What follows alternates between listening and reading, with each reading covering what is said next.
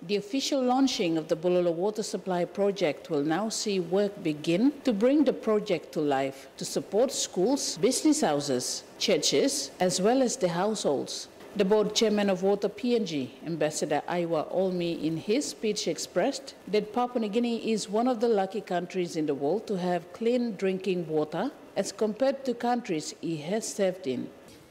They lack clean water. They drink from open drains. They use water from dirty drains in the urban areas. In Papua New Guinea, we are lucky. We have clean, very clean, healthy water. Speaking for his electorate, the Bulolo MP and Deputy Prime Minister Sam Basil stressed that with the district having 110 wards and six local level governments, equal distribution is a real challenge. In reality, you may got triple town inside of Bulolo district, and you may got Mumeng or Genex station, you may got Bulolo town, now you may got Wau town.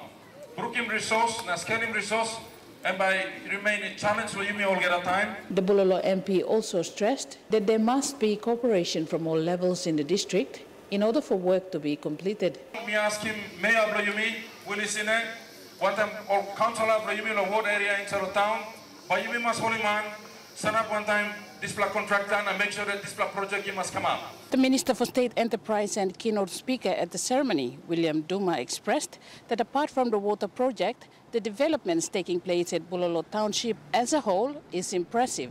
Bulolo, you got all good road. Now town am clean. There's a big change.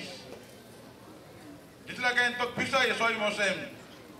He got stability, na good leadership. This is Shisei, NBC National News, Lae.